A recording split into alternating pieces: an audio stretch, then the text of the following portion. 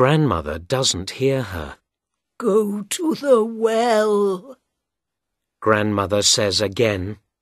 Bring me the bucket of water. Please hurry.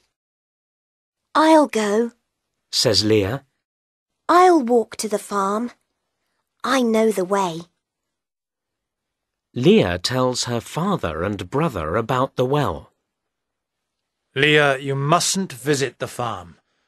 The volcano is near the farm. The volcano is dangerous.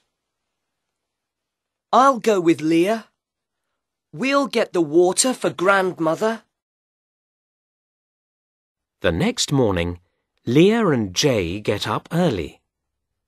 Leah puts some bread and a sausage in her bag. She puts a bottle of water in the bag too. Jay and Leah are on the highway. The air is hot. The air is full of dust. At the checkpoint, Leah and Jay meet a soldier. He talks to them.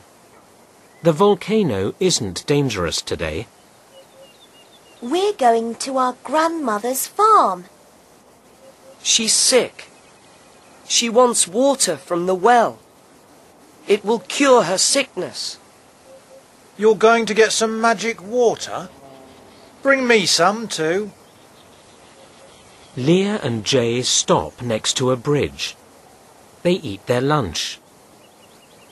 There is a small house next to the bridge.